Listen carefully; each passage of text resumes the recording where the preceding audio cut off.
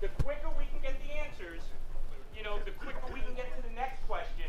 And just remember, it's about transparency and it's about getting information. Accurate, timely intelligence will help us work better with our elected officials and what's going on. So I appreciate it. So come up here, and now I'm going to ask our elected officials to say a couple words while I look over the questions. There, there are four Folks, we have four open seats to the show. Four people. Oh, three. All right. So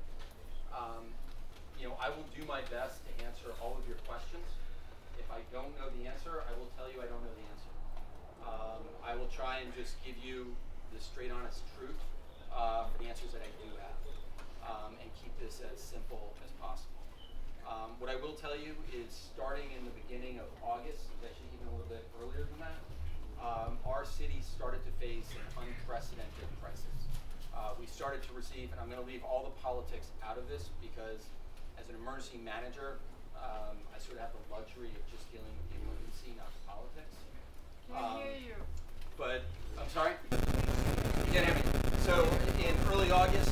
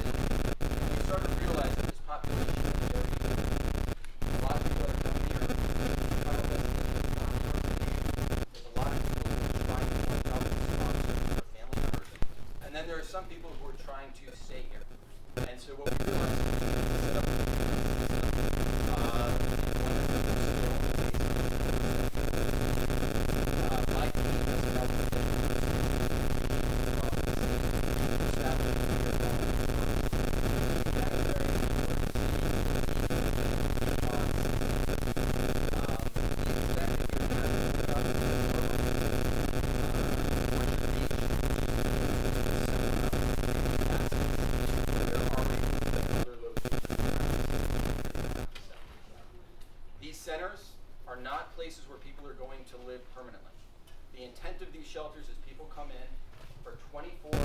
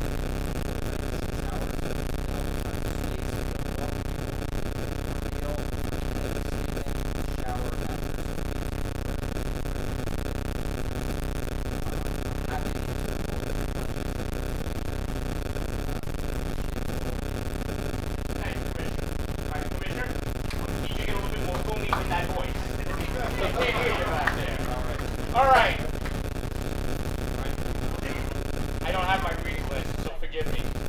Jessica Calza. Jessica, come on down. You're the next contestant.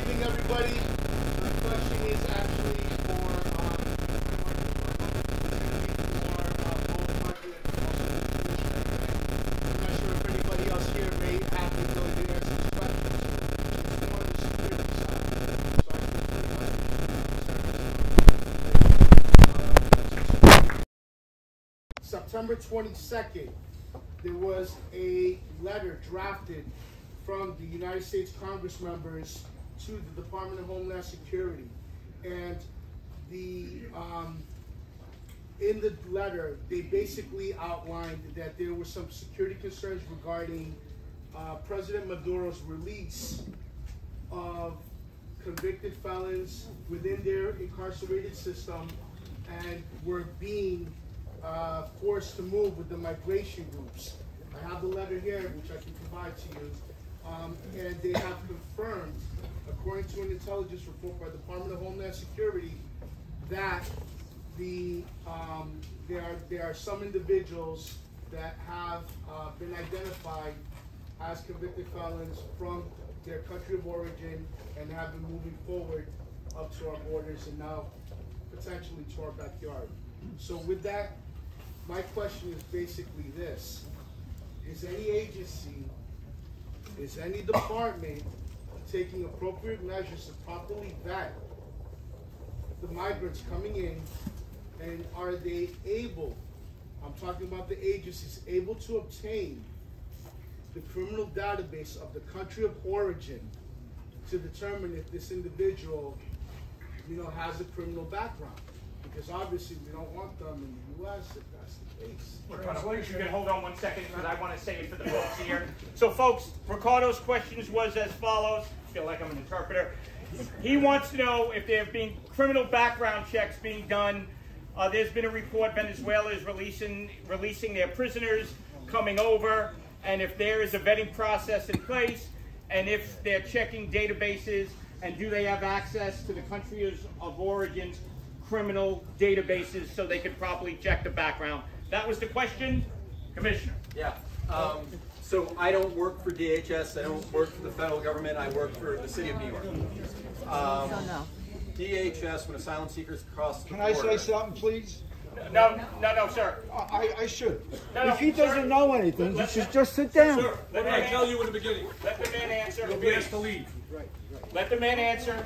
Thank you. So DHS does background checks on individuals who are seeking asylum. The amount of information they have is dependent largely on our relationship with the country that they are coming from. Um, and so with certain groups, you have more information than other groups that are coming in. What I can say is for the mayor, for the city, the security of the people who are coming into our care is of paramount importance, as is the people in the communities that they are going to. And so we will do everything we can to ensure your security, as well as the people who we are caring for who are coming to New York seeking asylum. All right, so if I could just expand upon that, if I'm Yep. hearing that right, and uh, obviously, I'm not holding you accountable, but what I'm hearing is you do not have access to the databases, country of origin. Someone can come in, these folks are not necessarily, they, they're seeking asylum, but we don't necessarily know where they're from. They don't necessarily have, uh, birth certificates or passports. So are we taking them at their word, or is it like, are you a So, bad so guy? people that are coming to us have paperwork from the Department of Homeland Security. But where where is And that they- paperwork from the Department of From, Homeland from when they, Security? when they cross the border, Right? DHS is processing six to seven thousand people a day crossing the border seeking asylum. All right, so just so everybody understands, that it's, it's an understanding process. Someone comes across the border, they have, let's say, they have no papers, right? I, I would have to refer you to DHS. I don't know exactly what the process, if somebody doesn't have papers. So how do we But what I find can tell you is the people that are, that are coming to us have paperwork that has been given to them from DHS with a notice to appear, with, uh, information that, that they have provided at that, at that border. But you understand, we're looking for proper criminal background checks. You know, to Ricardo's point, they're Right. letting out prisoners, et cetera. If I may, Yes, if I may, so I'm just gonna read a, a, a paragraph, the third paragraph in the memorandum. speak up. Um, I'm gonna read the third paragraph in this congressional memorandum that was submitted to the Department of Homeland Security requesting information. Um, and several senators signed this. So according to the United States Customs and Border Protection, between October twenty-first and July twenty twenty-two, more than hundred thirty thousand Venezuelan nationals were entered, were encountered after entering the United States illegally. This is their words, these aren't mine. As a result of, uh, you know, they go into politics, divided, whatever, uh, you know, the administration's disastrous border policies. Uh, it is unknown how many violent Venezuelan prisoners have been released into the interior of the U.S. As identifying Venezuelans with criminal records is nearly impossible unless the individual admits their records to the U.S. authorities, this will undoubtedly put our country in grave danger. And they directed some pointed questions, eh, eh, you know, to Department of Homeland Security regarding, you know, the number of individuals that are coming in, how many have been identified, are they self-declaring? And they basically have no way of determining this, to the commissioner's point, unless they either self-declare or we establish a better relationship, you know, with the country of origin and have access to those databases, those records. So I guess what we're trying to say, Commissioner, we're welcoming, we want to keep the folks at Orchard Beach safe, you know, from harm, as well as the people in this community. We want, we are. We're hundred percent aligned. you know, we're, we, and I think that's fair to ask that question. And We're hundred percent aligned. Thank you, sir, thank you. Next up, the wife of Billy McGee, Annie McGee.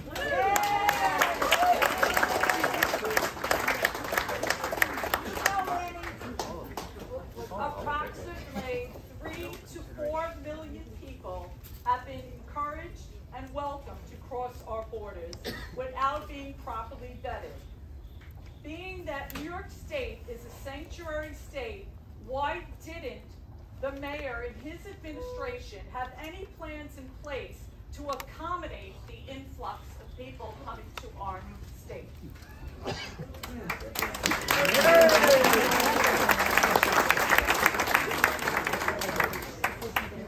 You know, look, what I can tell you is this is an unprecedented event. That you This has never happened before in New York City. They don't want to hear you, I'm sorry. Yeah, yeah. Um, So what I can tell you is this is an unprecedented event. This has not happened before. New York City always welcomes every year tens of thousands of immigrants. It's, it's what we do here. It's what we've always done. Um, I know, but we're talking about four million immigrants coming. Well, we have in New York State right now we have 110,000 asylum seekers in New York. There's about 75,000 asylum seekers in Texas. I think New York State is already doing all of our work here, and yet we're now being expected to do the job for other people as well. And we are adjusting. We are doing what we do as New Yorkers, and I think we're doing. The city is doing a great job of it. Why, why weren't we I- prepared for this if we knew there was four million people? I don't know that we knew that there was going to be people getting buzzed to New York. Oh, we were all- If, if, if I could just say again, please, everybody, the, the commissioner. Guys, at the beginning, Quiet, at the quiet. beginning of this, we asked, please, be respectful. The commissioner is answering the questions. Some of these questions are even, they're not within, you know, his, his scope of work. He's doing his very best to answer the questions. All right, next, next up, longtime City Island family. Elise Schaller, are you here?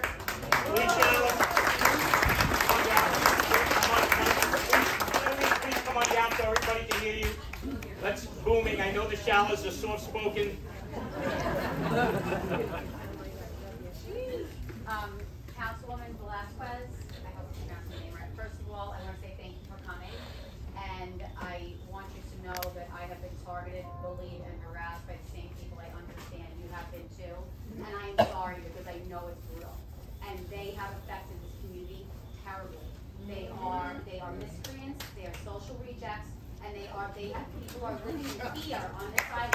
I'm sure.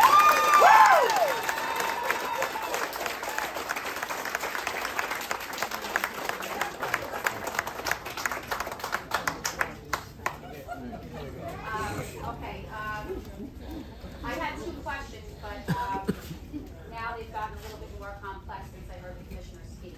Uh, my, one of my questions was, it was basic.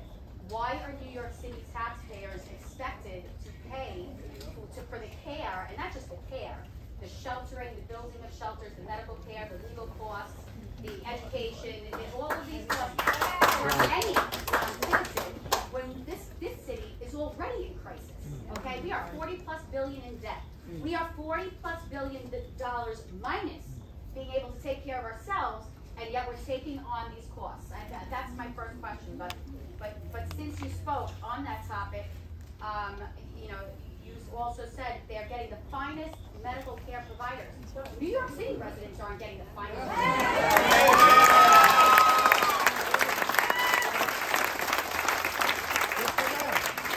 getting warm beds and meals in public parks where these people who live in New York City and pay taxes are not allowed to sleep. Why are they getting warm beds and, and a roof over their head when, we, when our subways are now filled with people that don't have such? And, and ba- basically that's, why is our tax money and our space being used for the emergencies of non-citizens when we have our own?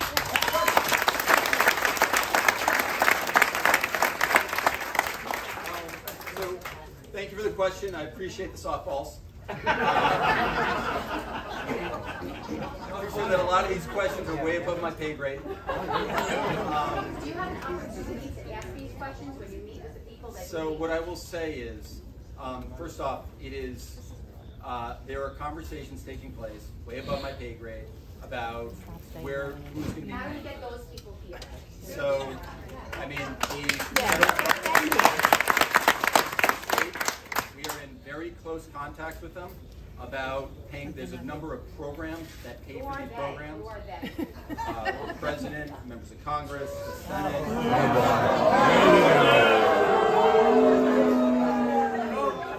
I really do want to hear. Wait, so is, is A, is AOCO Their, represented? their decisions. I'm happy to answer these questions, but I have to be given a chance to answer these questions. Where's the mayor? Answer it. So there are federal programs that fund the work that we are doing. We are working with our federal partners, FEMA, the White House. We're working with our state par- partners, Dishes, uh, and others, about funding for this. We're still identifying what our requirements are, but these programs do have federal funding set aside to pay for them. So it why- is not, excuse me, it is not city tax dollars that are gonna be on the hook for paying for these programs. It's still all money. In terms of why we are doing this, this might be unpopular, but the great strength of New York has always been immigration. Immigrants have always been the strength of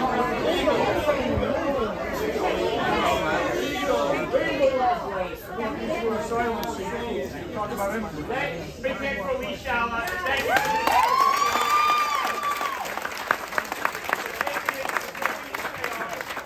Next, another longtime City Islander, friends with her husband since I'm eight years old. Bernie Perry, come on down. You're the next contestant. Bernie, come on down. Where is Bernie Perry?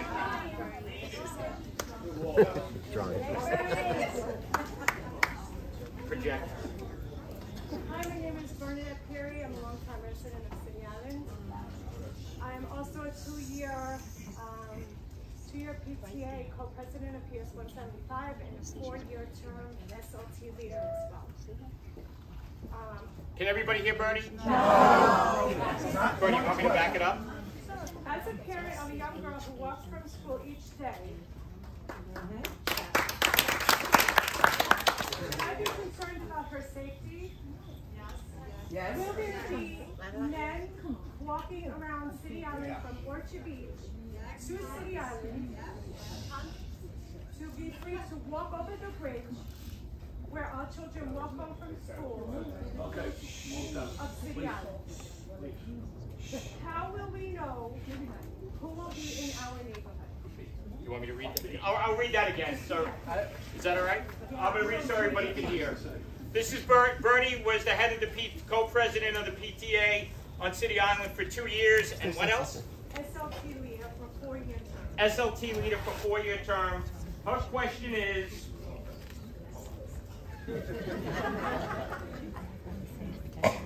She has a young uh, daughter who walks from school each day. Should she be concerned about her safety? Will these men from Orchard Beach be free to walk on the City Island streets? How will we know who will be in our neighborhood? And will they be safe? Will we be safe?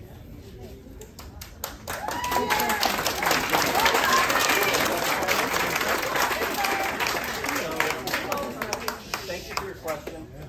Uh, your question is on top of mind of everybody's in the administration.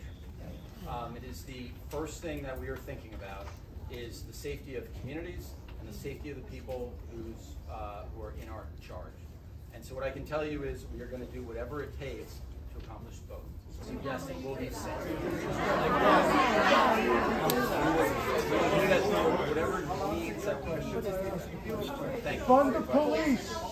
What means will be taken as a precaution that these children of our community at PS one seventy-five can walk home safely from school? We will do whatever is required to make sure both.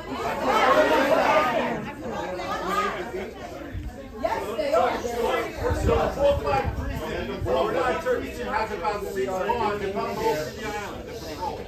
All right, so, well, so let me, let me explain, let me explain the frustration, what you're hearing here, uh, Commissioner.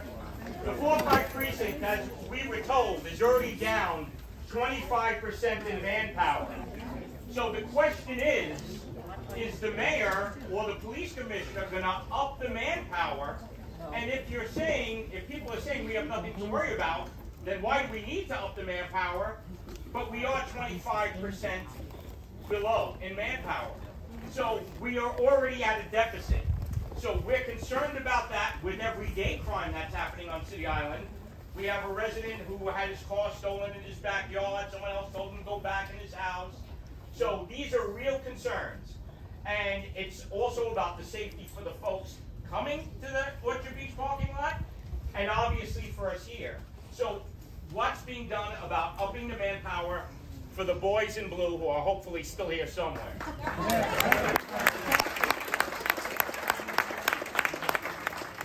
So, I mean, this is what I can tell you. Like I said, um, we're going to do what it takes to keep people safe, all people. Um, Let, let, let the commissioner answer, please. Um, you know, first off, we have extra security um, at the actual facility. We have the National Guard that is going to be working at the facility. And if we need to increase police presence, we will increase police presence. The mayor and the administration is committed to your security. He ran on a campaign of public safety. It is the first thing.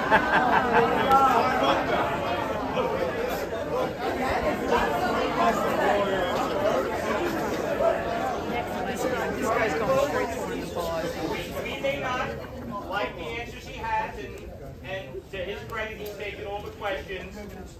So there is, you, Commissioner, you need to understand, there's frustration here. I get it, and I'm, I'm So- here to answer all the and so questions. I'm happy to do so. Some of the answers, as you said, you know, you don't have, but we're interpreting them as being a anemic. So just please understand on all sides. I just want to interject for two seconds, um, and I want to be clear, the last meeting we had at the Civic, I did mention to y'all that since the beginning of the year, when I took office, I had a very serious conversation with NYPD about the shortage that we have of officers. I echoed that sentiment again last week when I found out. So we're working on that precisely with the mayor's office to make sure that we're making our community whole to begin with, right? It's not just adding officers now, it's adding officers now permanently. Because we needed it beforehand, and that's the issue here. We faced for a while, and I'm not afraid to say I asked for more officers and I funded the police because that's what our community needs.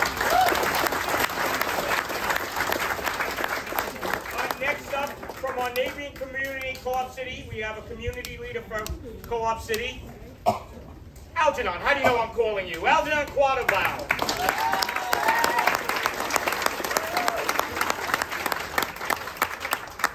First, um, first, I want to say thank you, City Island, um, for the support that y'all showed me last couple of months ago. But I just, I had to say that, thank you for committing. And good to see you, Councilwoman Marjorie. Yes. I live in the largest north, largest community in New York City, called Co-op City. We have over 15, excuse me, we have over 20,000 residents. We also, oh, I'm sorry. Can y'all hear me? Okay. I consider myself a part-time city islander because I use, I work out here, I play out here, and I know people out here. And what City Island's problems are could easily become Co-op City's problem. Because we have a large vacant lot that y'all might want to look at.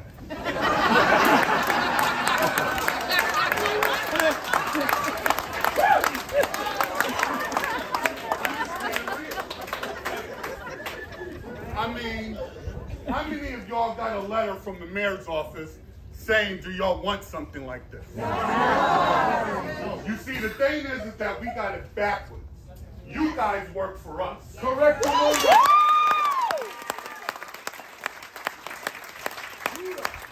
if you want to put something in our community, you need permission from us.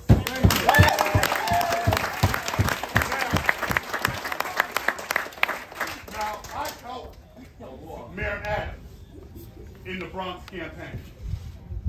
And he ran on public safety.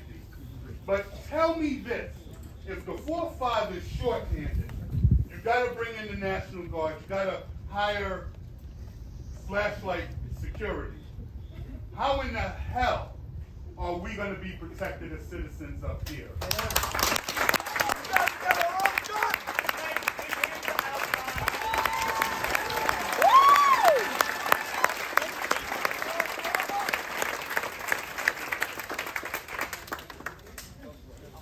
I mean, I, I don't know how many I, I I'll give the same Yeah, answer I gave even before. Don't even bother. I'm happy to do it. Sit down. You know, Commissioner, you said National Guard, correct? so we have a number of organizations um, that are going to be present and working at this facility, right? That includes health and hospitals. It includes contractors. It includes people from my agency. It includes people from other agencies that work for the city, state partners, MTA, the National Guard, NYPD. And as I said, your security is paramount to us and important, and we're going to do whatever it takes to make sure you are all safe. I can't emphasize that enough. I don't know how I can answer that question better for you all. Wait, wait, wait, guys, guys, guys, guys, guys. All I want to say, folks, let me, And I'm me. sorry, I just want to say one more thing too on that. Yes, sir. You know, I hope that we can appeal to our better angels. I've been working at Support Port Authority the last couple months. I've been seeing these families coming off the buses, the people coming off the buses, the men coming off the buses who you, some of you are talking about. The first thing they ask for is where can they get a job? Right? The families. I, I saw the other day, I saw a mom this will stay with me the rest of my life. And I've seen some awful things around the world. I've seen some awful things around the world. I saw a mom physically, physically shaking as she held her children and her husband for the first time in weeks. In weeks. These are people who are coming to our shores because they're, they're looking for something that all of our families looked for in the past. And I hope that I know that some of you are afraid. I know that you have concerns. I know that you have frustrations. Look, we're frustrated. We didn't ask for buses to be sent to New York State. Why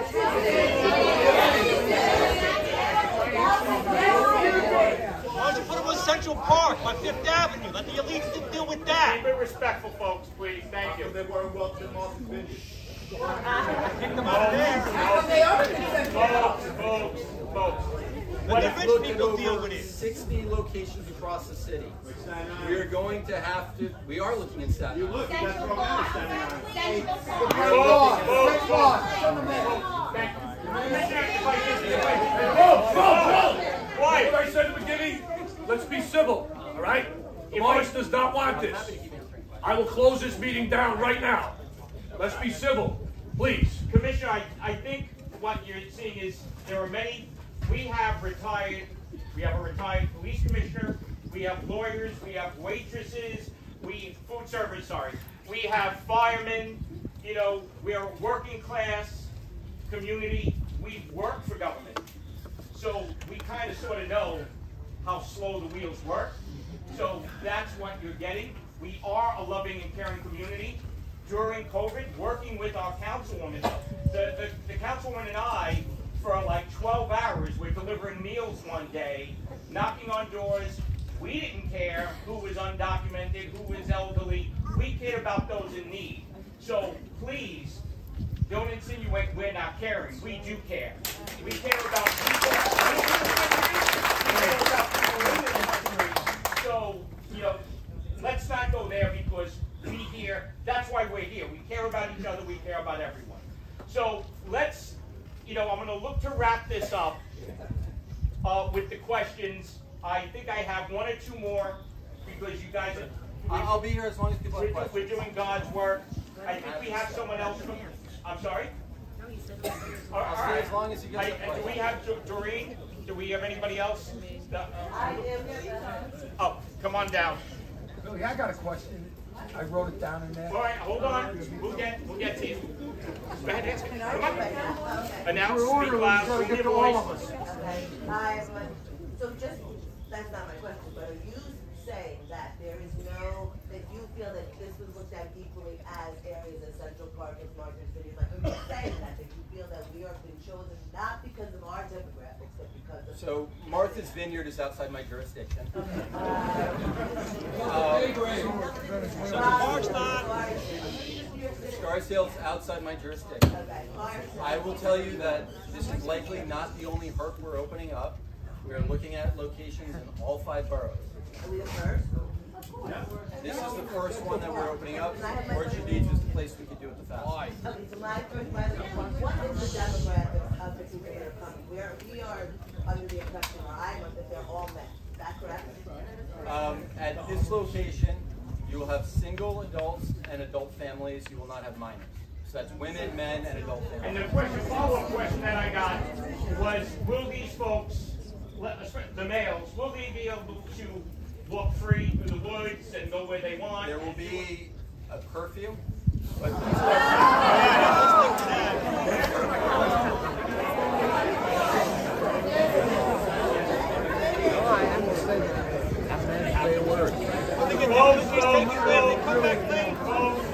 Look, the other thing is, I just want to reinforce, people are not living at the HERC, right? People are at the HERC for 24 to 96 hours before they move on to their next location. We need places, when we look at the places that we're looking at, we're looking for places with 100 to 200,000 square feet. We need big spaces. There's not a lot of big spaces that are not used in New York City. Great lawn Central Park. Commissioner, with, with all due respect, um, um, the, uh, the armories have. As New We are looking at armories, yes. Kingsbridge Armory, the Bedford Armory. We are looking at all of the Kingsbridge, we've looked at, we are looking at all the armories. Probably got homeless in there already. All right, all right, folks. Let, let's keep it. Let's keep it. Let's keep it civilized. We're gonna be wrapping up soon. Alicia, you got a quick question? Yeah, as far as the curfew goes, what is the plan in place when someone breaks curfew? You go find it. So, again, people, people, these, are not people who are detained. The curfew, we're sort of still establishing what that looks like. What I can tell you is, is that people are free to go. I'm not gonna lie to you about that. We can't detain people.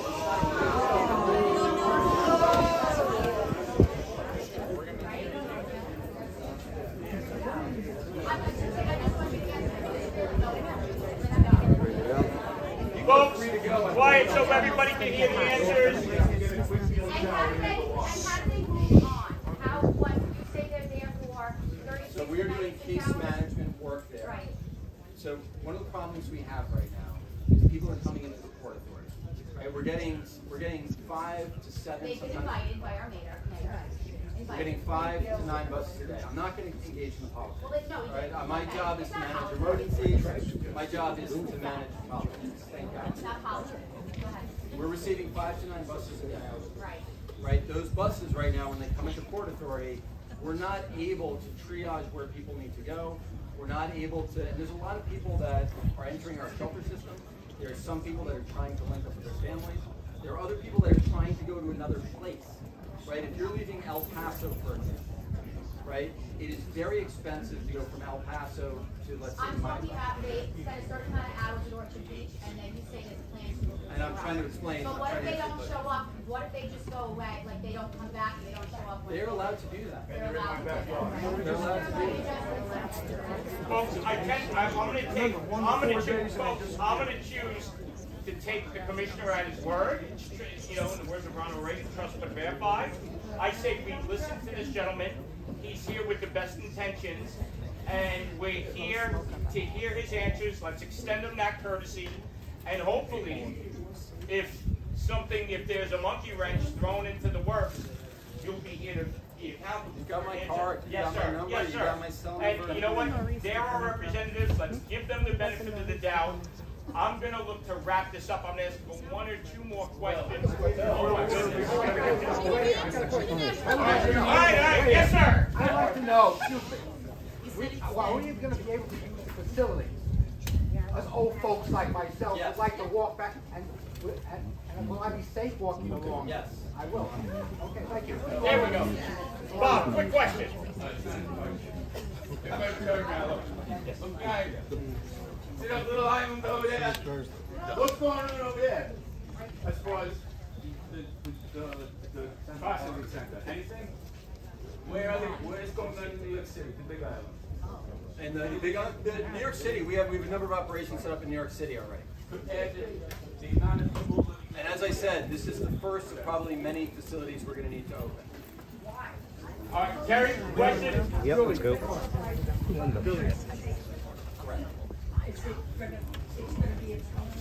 We're working with the state to have an MTA route that we're gonna, we're working with the MTA and charter companies to have direct transportation to the subway from Portugal. How long is this going to last? Folks, folks, folks. It's starting to get out of hand. I'm going to, look to thank the commissioner and the councilwoman for coming.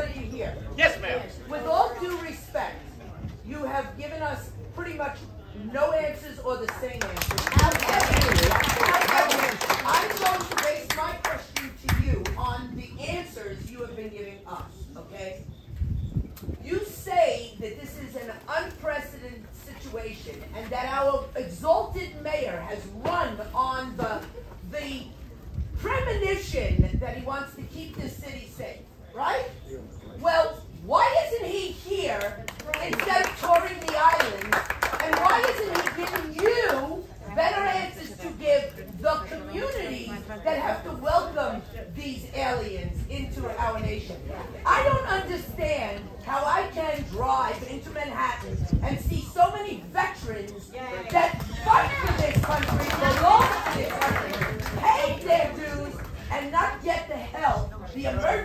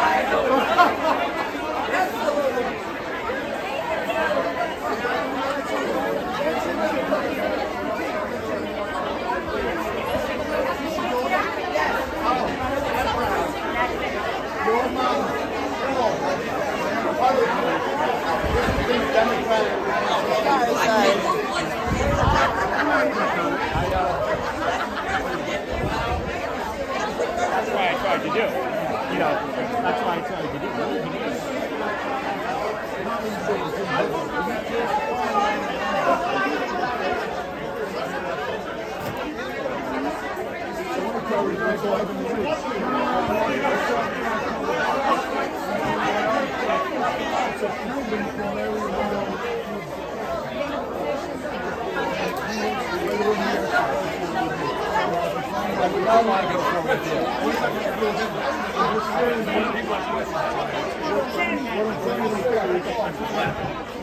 Tommy said about the Mary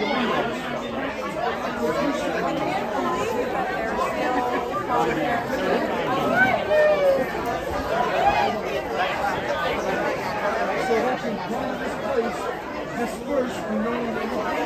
There's no roll call every day.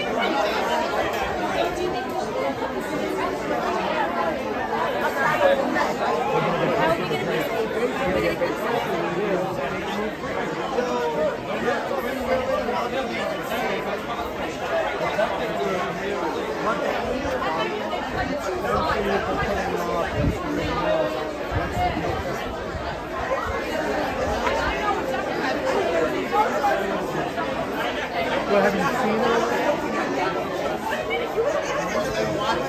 it?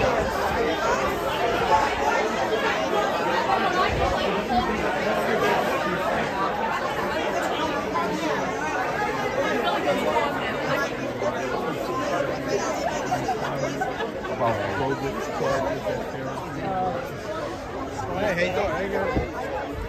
How you doing? This guy. No, but we know who he is. Oh, the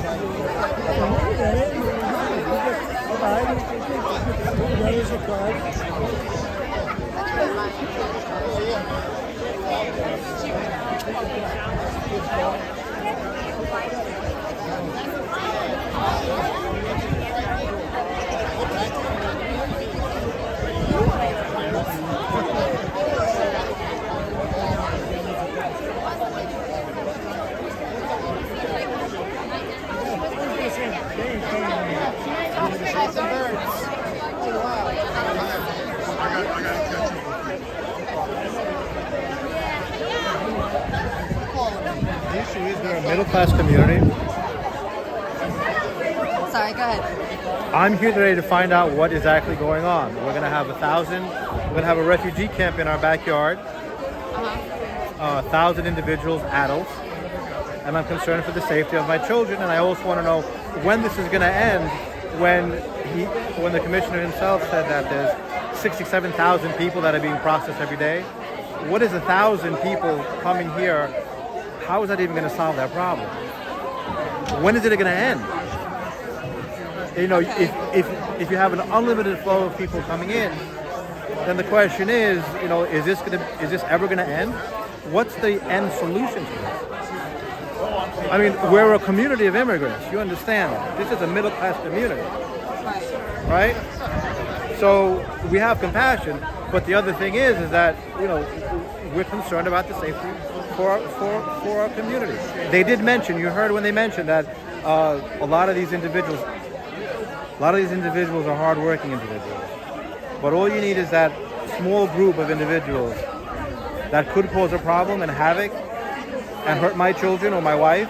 And that's something that I need to be concerned about. And all New Yorkers need to be concerned about. So, so the so your your main concerns are safety and the timeline. There's a, this is an open-ended kind of thing, right? Yeah, are, are we going to have 2,000 in a month? There, there seems to be no answers. You know what? Me and my family, we, we just, we were trying to like talk about this in a historical context. We saw the grapes of wrath. You know what I'm saying? When America was sane in their policies, right? Who did Steinbeck say was the cause of the problem? And you know what? It's, it's, it, they were basically saying, why are you inviting all these people here if you don't have the resources to take care of them? That's that's really what I don't understand. It's like you know what, it, like what what what's the end game? If you have four million people coming, you know what? How many people can a community, or even how many can a community take in and actually give a quality of life to, without also not affecting our quality of life to the point where we no longer feel safe in our community? Is that too much to ask? So um, the commissioner was talking, was responding to questions about safety. People seemed not very satisfied with his answers. What, what, do you have an idea of what kinds of answers people were looking uh, for? Well, is there going to be any kind? Okay, so from what I understand, from what I learned today, that they're going to come here, but they could also roam freely. Okay, so they're, but who are these people? You know, uh, you know, there was some documentation or some statements or proof that was written where senators had mentioned that we don't know who these people are, and some of them are being amongst the 99%. Who is that 1% that they're letting out of the prisons, much like they did with the Cuban situation? What, what kinds of measures would you like to see them take that would make you feel that the I would- safety measures are in I mean, I personally think that the answer has to be taken care of at the border. You can't have a porous, a porous border. You have to have some some kind of control. I mean, I'm not an expert on immigration, and like I said, we're a community of middle class immigrants here. We're one generation away from being immigrants ourselves. But you know what? We also had sponsors. We, you know, we, came over, and, and it, it wasn't like it was today, where from what we're reading and seeing, it's just an open border. It's just, a, you know, it's. I mean, he was saying 67,000 people a day are coming in on the border. thousand dollars is is a, is a drop in the bucket. Um, you, you're talking about national policy, though. Like, what what would you like to see the administration? I think the answer is national. Yeah. The answer is national. But just in terms it's been dumped on Eric Adams. It's been dumped on New York City. Right. All right, but the point is that now, now, but the rhetoric, it has to be addressed. There has to be a logical solution. You know, I, I I'm here tonight to hear. I mean, I would. Uh, you can't defund the police and also expect a thousand people, many of them who are seeking opportunity and jobs. Yes, but what about the people who are also seeking jobs jobs here? Are they going to be taken advantage of? Are they? It's. It, I find it hard to believe that I find it hard to believe that this is not going to end when there's no answer as to how it how it how it can end. If you have four million people come in over the border and they're telling us now, this is just the beginning, I think, and I think every community needs to needs to understand. We want to help people, but I'll, I'll say one thing to the public. They were mentioning that a lot of these individuals are coming from Venezuela. Why are we importing the economic policies that destroyed Venezuela and caused the problem amongst the politicians? So I'll say another thing. A lot of what I'm seeing, you know what? It's it, it's horrific voting by the American public. You know, it's unheard of to me that, and I, and I will get political here. It's unheard of to me that AOC is the congresswoman for this district. Where was she tonight? She basically helped to, to cause to, to cause the problem. So you would have liked her at this meeting to respond. She's our to- congresswoman. right? To respond to things that are happening. Also She is our congresswoman, right? Yes. Yeah. And, and and I'll say it again: we are we are a community of middle class immigrants. We're one generation away at most. And we need some diversity of housing here in the city also. You know, it's like now they want to raise the taxes on the ones, ones and twos. We were able. We lived in, you know, we help make this community, and I want my kids to live here also. But there's flight, and it's not just white flight. It's flight of people who want safety for their children. So I voted for I voted for Eric Adams, right? I I I voted, I gave, you know, and you know what? Uh, if there's anyone that's going to save New York City from our crisis, I believe it's him. But the point is, is that you know what? He was pro-police. He was pro-police. Have to admit it. You know what I'm saying? But the point is that you gotta, you, you know, this has to be addressed. You can't just have thousands of people come through a middle-class co community of one and two family homeowners. Or at, at, at least you have to have a plan when you have 67 or 4 million over an, you know, some astronomical number. This is not unprecedented. I am of Greek heritage. Look at what happened to Greece. You know, massive immigration. This is a worldwide, this is a worldwide pro problem. And we have to have big solutions to it. But right now it just seems as if we're being asked we're being asked to put in a precarious situation, and we need to be aware of it. That's why I'm here. So, so Bozo Thanks very much for never put on a referendum for us to vote, so we want to be sanctuary. Greaney, hey, interview that gentleman. So we need to get a judge to say, you know what? The city has overstepped its authority. We got to temporarily restrain its authority. Anyone calling me for the question? We'll talk to him about this. And, and I do want to get back to this point is that, you know, like, look at what happened in Martha's Vineyard. 50 individuals showed up and they had the National Guard come and take it away. And these are the people who make the policies. So, we're average people. We wake up, we go to work in the morning. We have nothing to do with these policies besides of who we, of who we vote for. So it's a hypocrisy. 50 people on an island, and now we're asked to take a thousand on a continuous basis. Fine, we want to help people, but it's, hip, it's hip,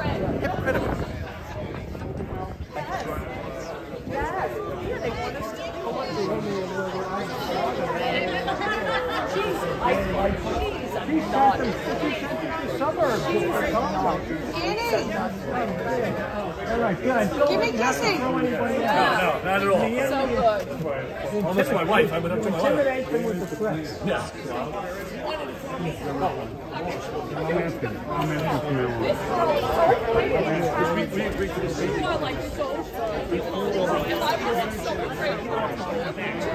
I would have to like go, like go yes. I did help Eric Adams.